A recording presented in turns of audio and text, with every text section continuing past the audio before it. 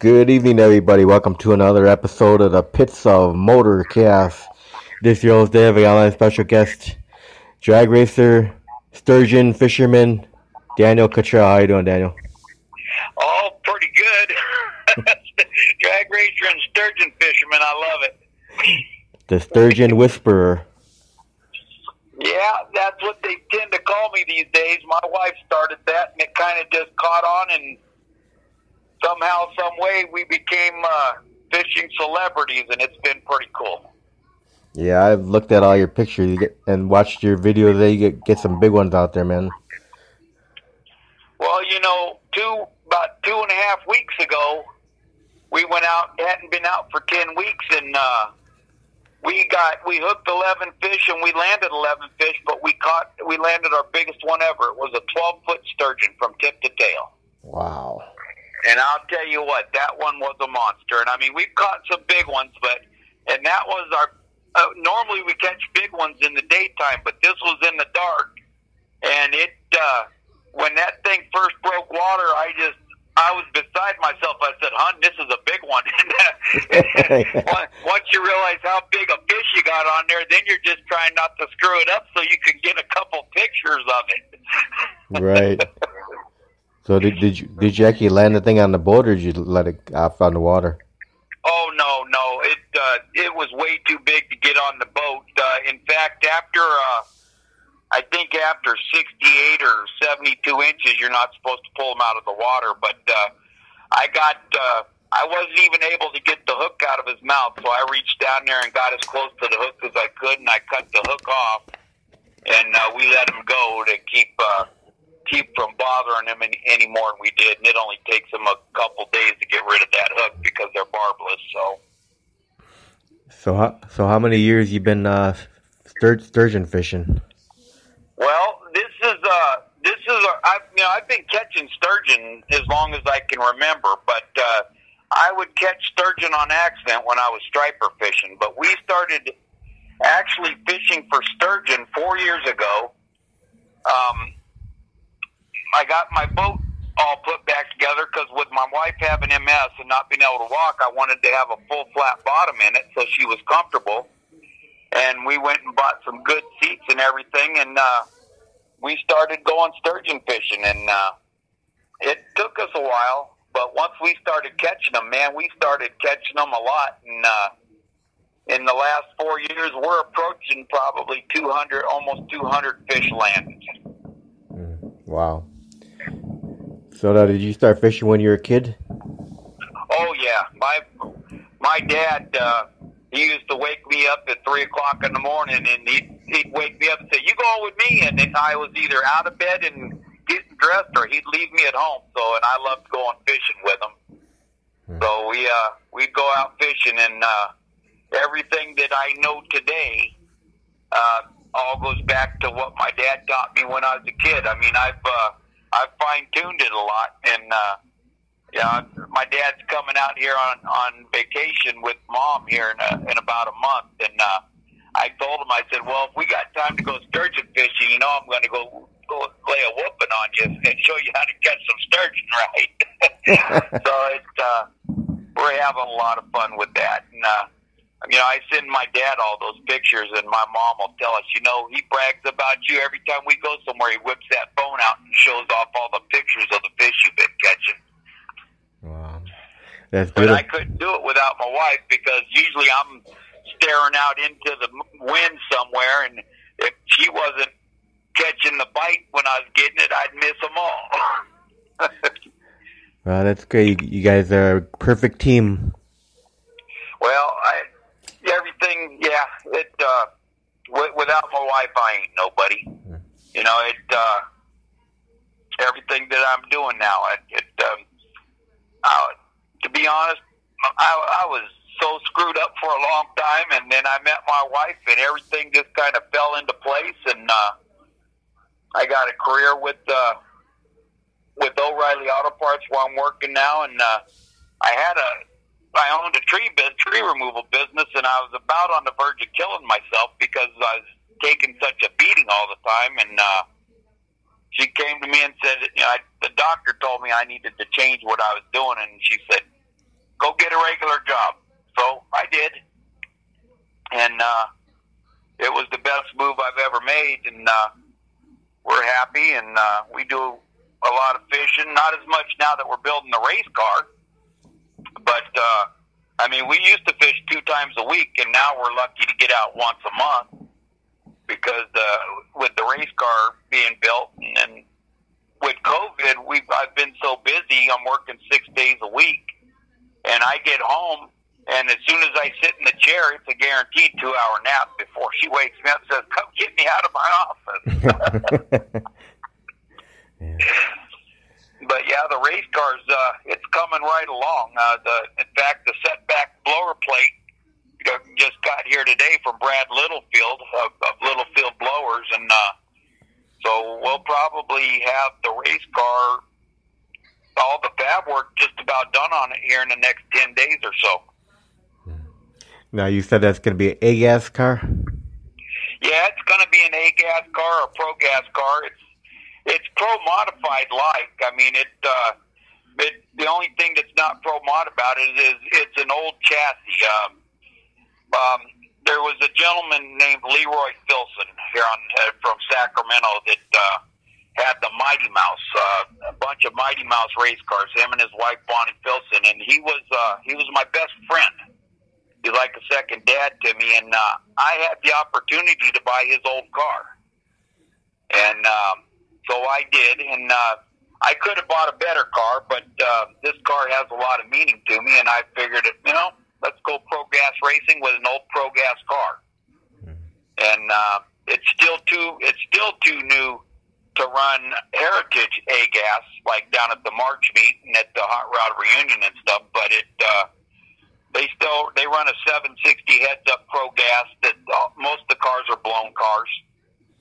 And uh, then I could run uh, nostalgia one and and all those classes if I want. So. Uh, but once we get this car going, I've got a lot of street outlaw guys that are looking to buy it, and so we're gonna once we get it together and get racing, we're gonna throw together a couple good eight mile passes to see what it'll do and set the price of the car, and end up selling it, and then we're gonna buy a funny car, and we're gonna end up uh, going Sitka funny car racing here on the west coast.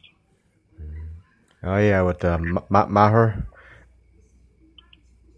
Yeah, well, my cousin Bobby Cottrell and my best friend Harvey Williams, they run uh, they run the Sitka deal. It's uh, they run at a thousand feet of five ninety heads up deal, and uh, you know Harvey's being one of my best friends, and with Bobby Cottrell running it, it gives me a chance to race against the world champion Nitro Funny Car guy.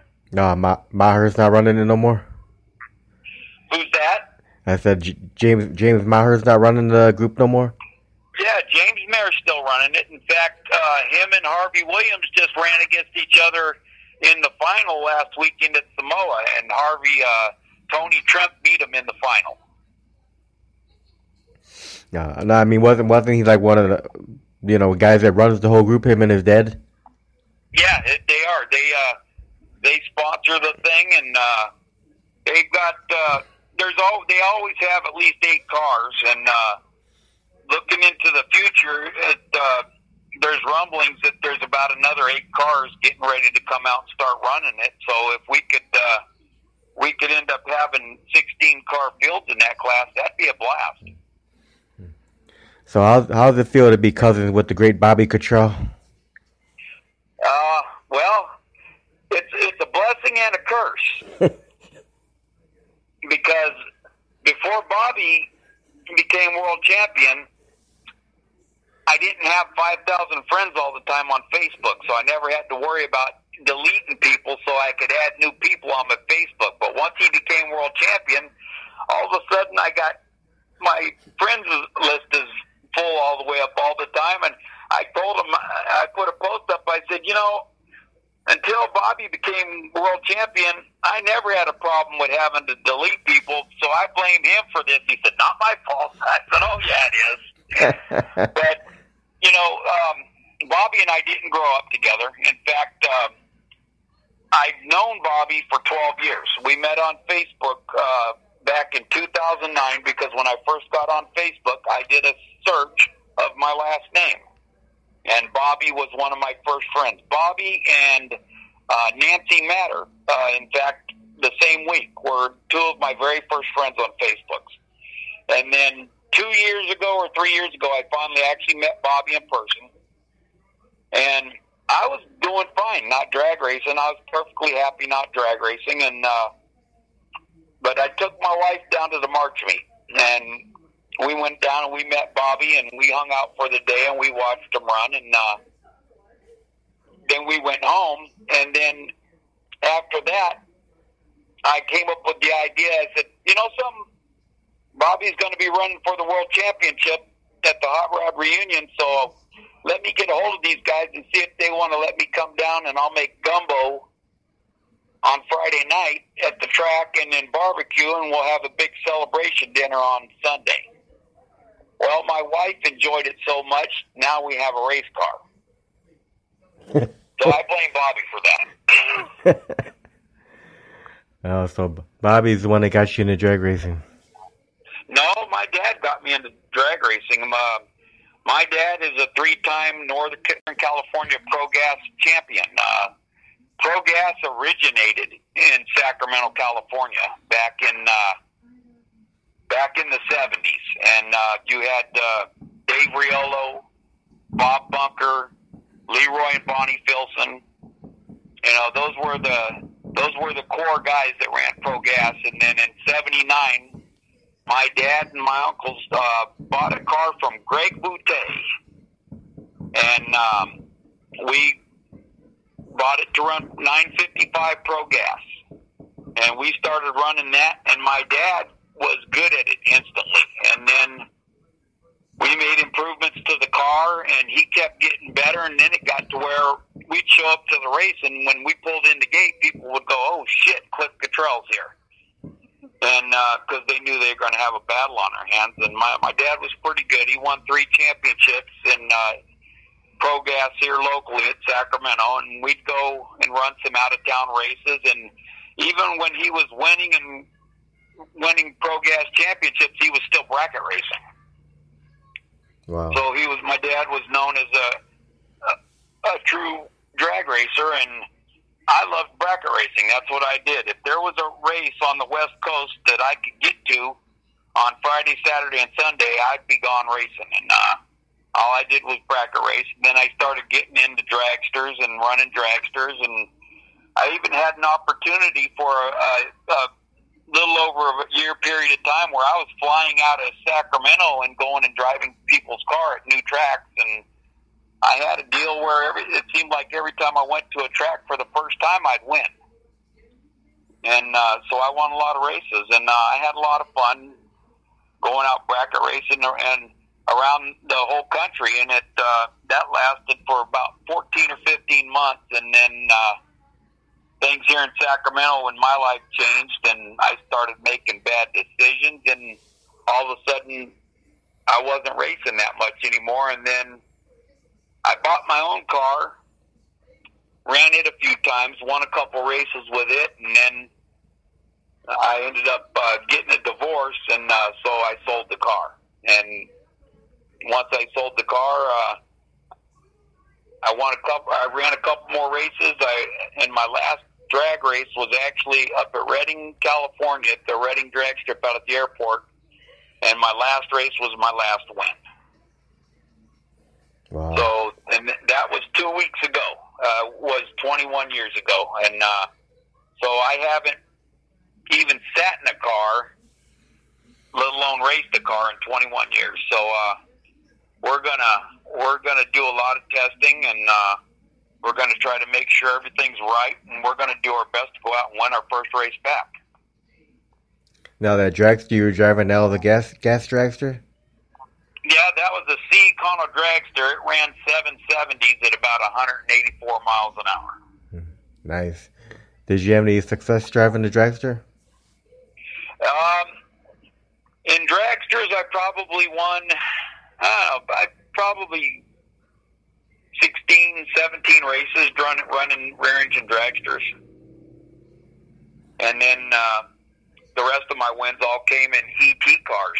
Um, you know, running bracket two and bracket three. Right. And I used to drag race the car I drove to work every day.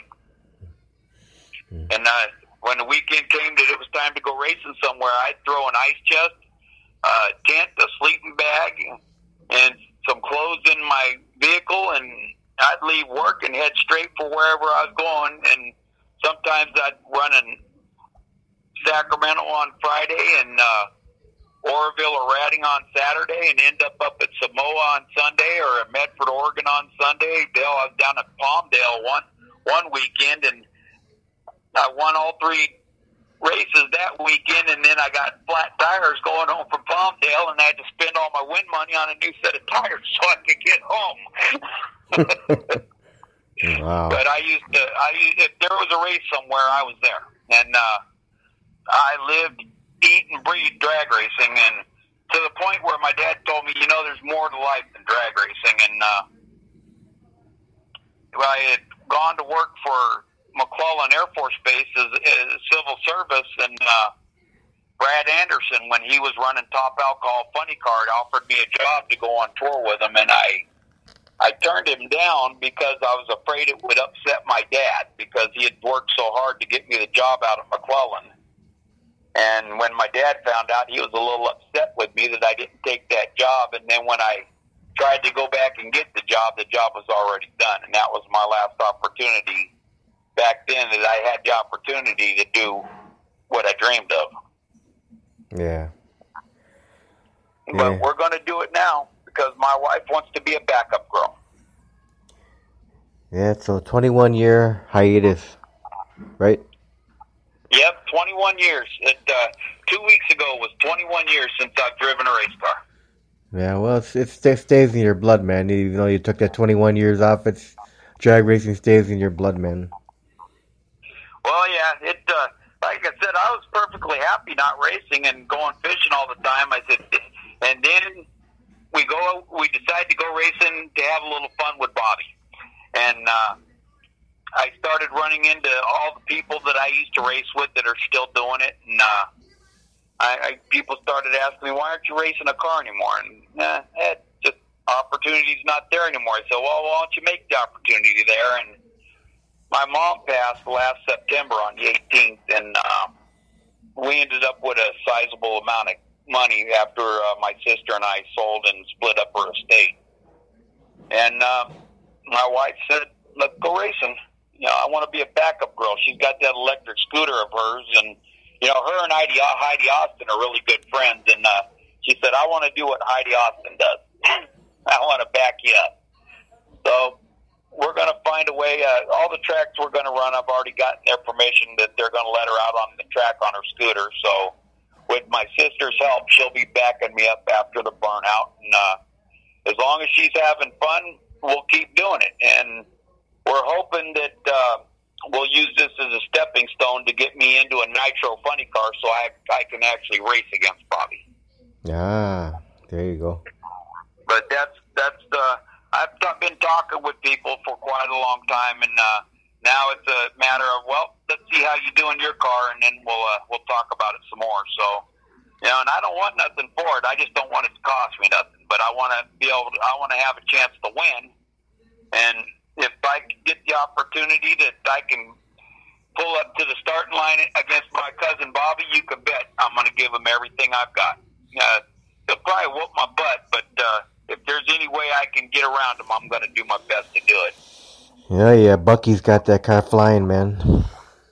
Well, Bucky's no different now than when I was racing with him when I was a kid, and he's just you know he's got a notebook. Bucky Austin's got a notebook two inches thick of what not to do. Hmm. You know, and uh, he, he he's been doing it so long, and then him and Bobby are such a perfect pairing. And I mean, to sit and watch Bobby work, work on the car between rounds to me is just amazing because I have some of the same skills as Bobby does, but I just look at him in awe as I watch him maintenance the car between rounds and get ready to go racing.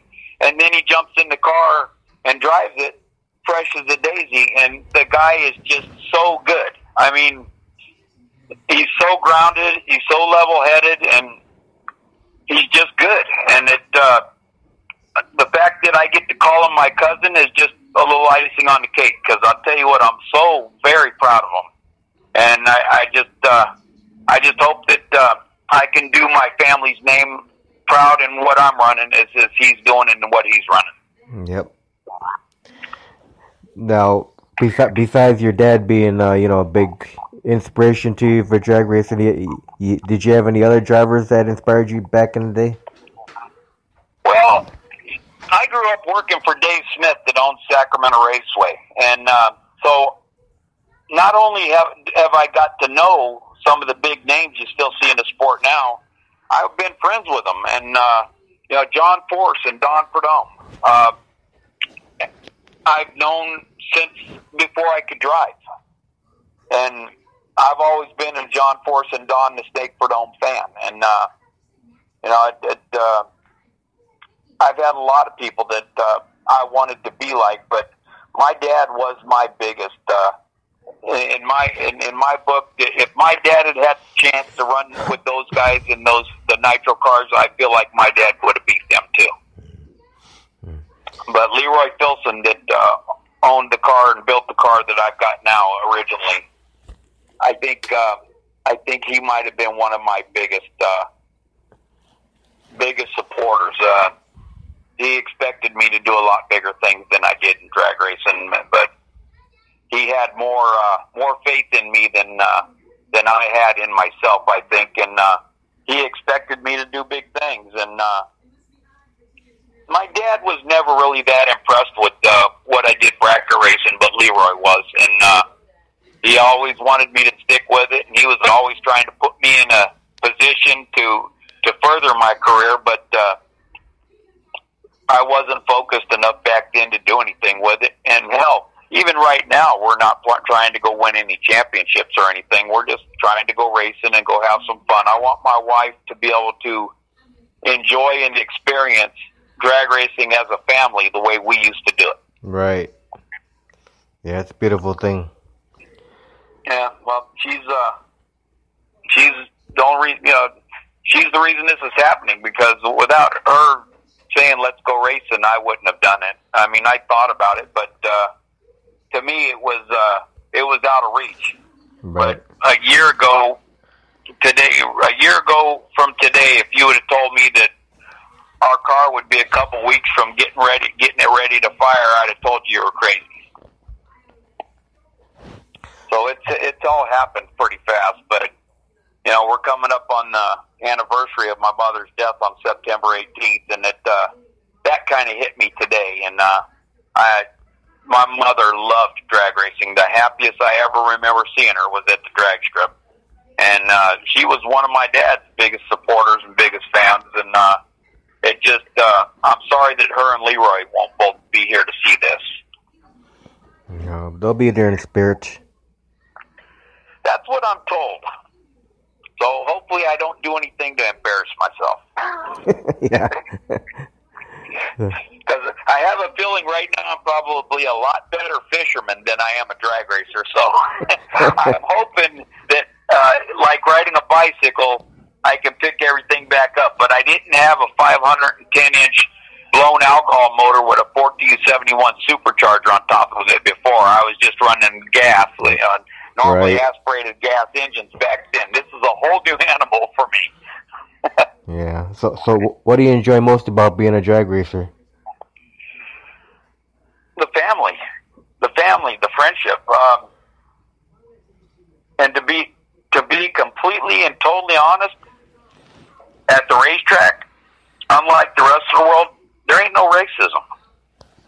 Right. There, there, everybody out at the track is my brother and my sister, and uh, once we get there and we uh, everybody unloads their cars and we get to racing, we're all just friends and brothers and sisters, and there's none of this crap you see in the political world going on right now at, at the drag strip. And uh, I've got some of my oldest friends are from the drag racing world, um, and to me, I feel like we're all family because you know if, if the guy you got to race next round breaks, you're over there trying to see if you can help him fix his car so we can go up and race for it the next round. We're not looking for a single win. And uh, you know that since I've started going racing with Bobby and and Bucky Austin, that's the one thing I noticed. I thought that everybody had forgotten about me, and they didn't. It uh, I had to had to be reminded who were some people were, but uh, you know, going down to Bakersfield and having all these people remember who I was and how much we used to race together and have you know enjoy our time together. It just it made me realize that I hadn't been forgotten about. Yeah, that's a mo- most most of the racers I interview. They, they always say about the com- camaraderie in drag racing. Well, it is. It uh, you know it.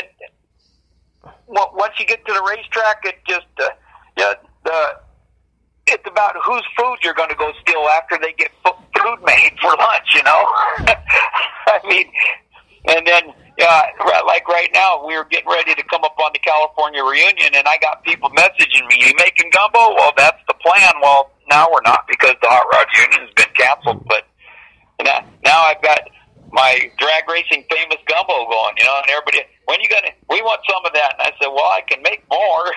Just uh, if you're gonna come over and have a bowl, bring some beers with you and share it with the crew. but uh, yeah. Uh, drag racing is it's not something you can explain. It's something that you have to uh, experience. And any time that I've ever taken somebody to experience drag racing for the first time, they were hooked. Yeah. Didn't matter if we won or lost.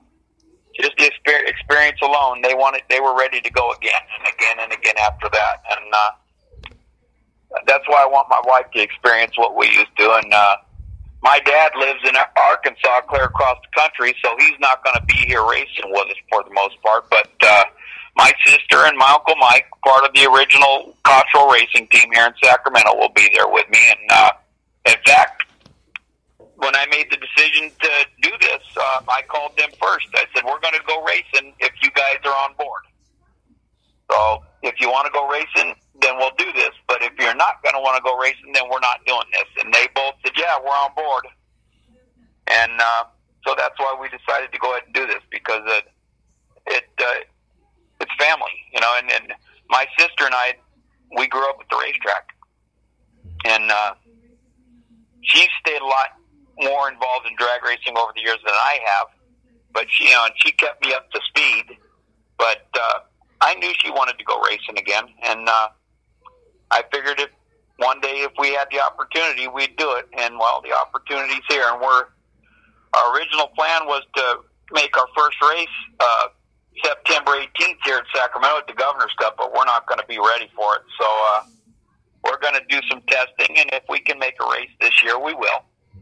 But uh, if we got to wait till next year to go compete, that's fine because that's just that more testing I can get under my belt and. Uh, when we show up at the racetrack for the first time, hopefully we can put a whooping on them, you know? Yeah. Yeah, the drag racing family just gets bigger and bigger all the time, man. Yeah, it does. And, uh, I, you know, when we announced that we, I had bought the car, my message, my personal messaging just started lighting up and then my phone started ringing because people that had been involved with my family when we were running pro gas wanted to come get involved with us, even financially. And uh, I just was beside myself. You know, I tell my wife, I said, I can't believe that I haven't talked to these people in over 20 years.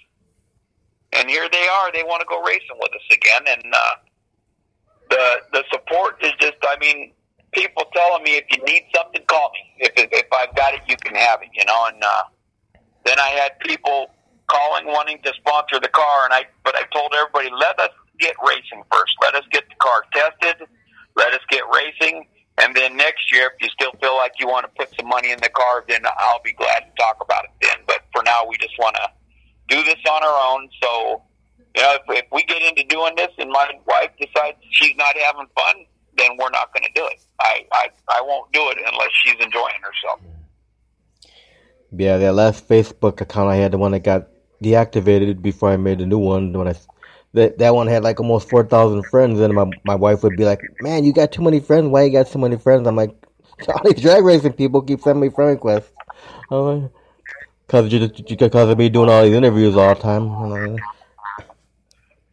Yeah, well, this is yeah, it's uh, it, you know, I, I've got so many friends on Facebook. It uh, I finally got to where if you had something about drag racing or something about fishing, I just automatically accepted you. But now I got to take a look at who's sending me friend requests because I was able to sit down for two hours and I made 200 and something deletions where I'm, you know, somewhere around where I'm at now. Yeah. That was hard to do because even though I don't talk to them on a daily basis, each person I deleted, I remembered us having conversations or communication of some sort at some time Yeah. over the past year since I've been on Facebook. So, you know, I hate cutting anybody loose, but I had to make room. Right. And so now my wife and sister want me to make a new Facebook page that's just racing and fishing. But hell, I kind of think that this one's just racing and fishing now. Yeah, you can make one of make one of those like pages. Well, I don't know if we're going to be that big. I, you know, it, I, I- I think the, I think once the newness of us going racing wears off, it'll probably be, uh, nobody will even care about what we're doing. But, uh, you know, I, I really enjoy the, the Facebook that I put together now. And, uh, I'm just afraid that if I did it again, it wouldn't be the same. And, you know, so many, everybody on my page is real excited because from the first time we fire the car in the garage till the first burnout and the first shakedown pass, all that's going to be live on Facebook. And uh, then my cousin Bobby Starnes will take those videos and transfer it over and put it on our YouTube page, where the uh, all the fishing videos are. And so I'm kind of fighting putting together another page, but I, if it uh, turns out to be a big deal, then I will. But I don't think I'm that big a deal. I, uh, I, I just, I'm just a nobody in Sacramento, California that uh, has been fortunate enough to be, you know, to grow up in the world of drag racing, doing it, being part of it, and working at the track out here for some 12 or 14 years. And uh, I'm just a guy lucky enough to get to try to do it again. And uh, I want to keep it that way. I mean, in, the future, moving forward, if it was to get out of control big, then yeah, then I might do something. But I, you know, just like drag racing people are my family, a lot of my Facebook folks have just kind of become my family too. And uh, even though I may not talk to them all the time, I, I feel a connection to most of them. And when I don't hear from somebody for a while, it, uh, you know, I think about it, and uh, I tend to send people messages to check to make sure they're okay. And uh, it's, uh, I think I got rid of most of the liberals off my page too, because I haven't seemed to be really making anybody mad that I get put in Facebook jail lately. So I must either be improving my behavior or getting uh, rid of the people shouldn't be there. yeah. yeah. So now, it, But I know my friend Nancy Matter, I was telling you about. right. She's uh, we've been friends for 12 years, and her and I just met in person at Tulsa last September because we went to one of Bobby's races there.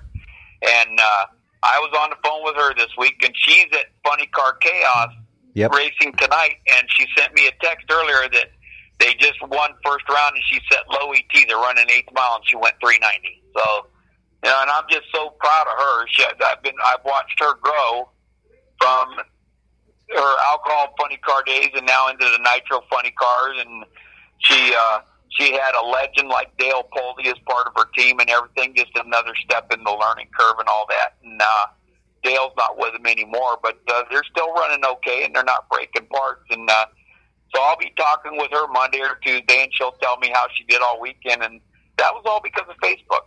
Right. You know, and it uh, you and I Yep. because of Facebook, Yep. and it uh, I love it. It uh, it can be a pain in the butt sometimes, but uh, I get up every morning. I, I get up an hour and a half before I have to get my wife up to put her to work, and uh, first thing I do is look at Facebook in the morning, and I check messages to see if anybody called me or tried to text me while I was asleep last night. And I spend too much time on there in the mornings before I got to go to work, but uh, it's part of my life, and I love it. And it, uh, I don't want. I'm not quite willing to give it up. Yeah, Facebook's a double-edged sword. Yes, yes. you love it or you hate it, but uh, you're not going to get rid of it. Yeah, but they they want to get rid of us conservatives, though. well, you know, I don't know that I'm conservative. I just feel like I'm a, a regular, hardworking, honest, red-blooded American male. Uh, you know, and more more importantly, I'm a human. But I work my butt off every day, Yeah. six days a week, three hundred, you know, fifty-two weeks a year, and I don't expect anybody to give me anything. Yet, I see all these people in the world today that want everything given to them for nothing, and oh, we got politicians that are considering doing it so they can get reelected. Well, you know, you need to take back your man card because somewhere along the line you lost it, and all this crap just. I don't even watch the news. I used to live watching the news every day. I come home, take care of my wife, make dinner, watch the news, and then go to bed. And now watching the news, all it does is make me angry. Yeah, F- fake news media. You know, it just they can't even begin to tell the truth, but yet they think that people like me are stupid enough that they can convince us that we don't know what we're thinking is wrong. We don't know what they're talking about, so they're going to tell us what we're thinking and what we're talking about. And, and ain't nobody ever been able to do that with me before, so why is it going to start now? Yeah. But once this election's over, COVID will go away, and hopefully we can get back to a regular, uh, normal lifestyle. And you know, I know who I'm voting for in this election, and I know why I'm voting for him. And uh, I hope that uh, the election goes the way I want it to. But uh, whether it does or not, life's going to have to go on. It'll just who's elected will determine how it affects us, I guess. You know, it, uh, and it's too bad that uh, that's the situation we're in, but it is, and uh, there's nothing I can do to change it. But I told my wife, I said, you know, I could probably run for governor and beat Gav- Gavin Newsom right about now. How- would that be? Daniel Cottrell in politics, and the, the the first thing they'd be doing is trying to teach me how to speak. Yeah. Yeah. Hey, um, this is Tania, Dave's wife. But- Look, if you're gonna run for Yeah. governor, It, it does. It irritates me, and uh, so I try not to think about it that much. But uh, hello, hello, hi, this is Tania, Dave's wife. If hi. if you're thinking about running for governor, make sure you get good sponsors. uh, I'm not thinking about running for anything. I'm, I'll be doing good if I can just successfully drive this race car once we get it done. Okay, good luck. Yeah, so it, uh, I don't know, man. It, uh, you know what's funny is, uh, you can't even talk about what's going on in the world without offending anybody. And, you know, I've never worried about offending anybody in my life. It, uh, if I offended somebody and it bothered them that much, I'd probably tell them I was sorry, but get over it. I am who I am. And I've had to censor myself on Facebook to the point that it almost I almost lost my job. Wow. I got called in and I got written up from corporate over a post on Facebook that wasn't mine. It was one that I shared and just commented on. And I looked at Tim and I said, "Are you serious?" And you know, understanding that I'm in a position where I got a wife with MS that I take care of, and so I, if it was just me, I'd have probably told them to shove that job right up their ass. But uh, I, it's not just me, and so I can't do that. I have I have a wife that loves me and depends on me and and looks up to me, and you know. Some of the one of the hardest things I've ever had to listen to is her tell me, "You've got to shut up. You've got to keep this stuff to yourself, and you got to quit talking about this stuff." And uh, that that that was hard for me to do. But I've done it. And uh, the closer this uh, presidential election day gets, I'm slowly kind of coming back out of my shell, and uh, every once in a while I'm getting uh, comments from people. There's the Dan we know, you know, and I'm like, oh boy, I better, uh, I better not get out of control. Yeah, it, it, uh, it's crazy, brother. it's way, it's way too crazy. You know, Yeah. you would think if people love this country enough, you know who they should vote for. But you know, unfortunately, it's not that way, though. No, it's not, and it's, uh, I don't understand why. I don't understand where it changed. I don't understand where Americans changed so much that they've allowed us to be in the position that we're in now. But it took a, it took months for me to get to a point where I could function without getting angry about it all. You know, and it, my dad used to tell me, "Don't worry about something you can't control." And I had to realize that I can't control this. All I can do is vote the way that I feel is the right way to vote, and hope that uh, more of the country sides with me than with the side I don't want involved. Personally, I think we should all go to the racetrack and settle it on the starting line. Yeah, And winners win and losers lose. No second place trophies. You just uh, losers go home with second place money, but only winners get a trophy. And uh, I want to get a lot more of those. yeah. So, and if, if I get a lot more of those, my wife will really love me then. Yeah. I I can already see the first trophy though. She she probably won't let that sucker go and let me even touch it. this is mine. You ain't getting it. Yep. but we're pretty excited about it. And uh, Yeah. right now, though, I'm more excited about our next fishing trip. To tell you the truth, because uh, that last fishing trip, it was a good one, man. It was one that we'll never forget. So Dan, if if you can have the have the drag racing fans remember one thing about you, what would that one thing they remember about you? What would you want that to be? Yeah, That I had a lot of fun, and that boy, could I cook at the racetrack. uh, that, that dude, it, everything it's about. If I'm not enjoying it, I'm not doing it, and uh, I don't know that uh, I've ever had a bad time at a racetrack. And uh, it, uh, I'm glad to, that my wife's going to get to experience that because uh, it, uh, if everyone could experience it, I think it could change the world.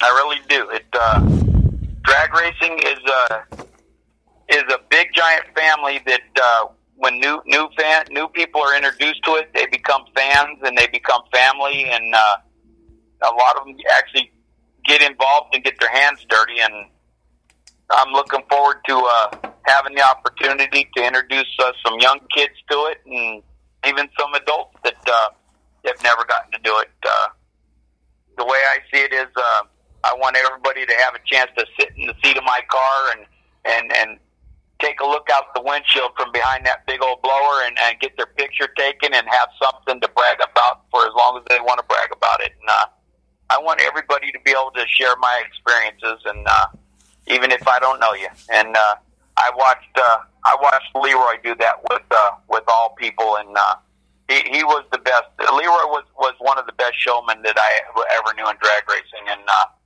uh, I mean, you can't compare him to John Force by any means, but uh, when Leroy was at the racetrack, he had, always had nothing but a smile. And the worst day of drag racing is still better than a, a bad day at work. And a bad day of fishing is better than any any day of work. I don't know about that. I, bad day of fishing really makes me mad. I, but one thing I can't stand is that, that drive home after a bad fish trip. We should have left five hours ago. Right. and then my wife will say say that, and I'll say I don't want to hear from you. but it is fishing, racing. I got the. I am completely and totally blessed, man. I got I got a cousin that has taken a name my dad made famous in drag racing, uh, running pro gas in the uh, in the eighties, and uh, and continued it one more step into the Nitro Pro Funny Car ranks for nostalgia funny car, and Bobby is just